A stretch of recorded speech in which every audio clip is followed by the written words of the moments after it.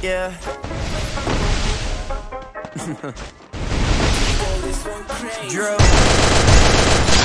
We interrupt this program to bring you a special report. We do it big and we do it however we like. This how it was made for the real. I swear to God that I'm serious. Me and my team, we be ready to shoot and to kill. I told my parents one day I'm about to crib. They gon' sit in the Beverly Hills.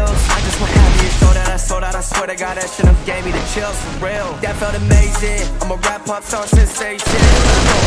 All I really wanna do is live life, give back. I don't really understand why they don't like that. For the family in Beverly Hills. If I said I'm gonna do it, I probably will. And that's real. I got a dream that nobody gets. I'm tryna ride the whole audience. Arena's my name on it. And no, I ain't acting like Johnny Depp. I don't put in the hours of work in my blood, sweat, and tears. So I'ma continue to do so. I ain't tryna end up like you too, bro. Cause I got it made it like a root song. Interference, but they all fearing. Cause I'm on my way to head straight to the top. If you just tell her that straight to the listen to this, I guarantee they'll say it's a bop. I oh. want it early to step in the legends and actually blew them all out of their oh. socks. So don't be scared if I come in and make you my target. I'm in your head with it. We do it big and we do it however we like. This how it was made for the real. I swear to God, I'm serious. Me and my team, we be ready. We shoot.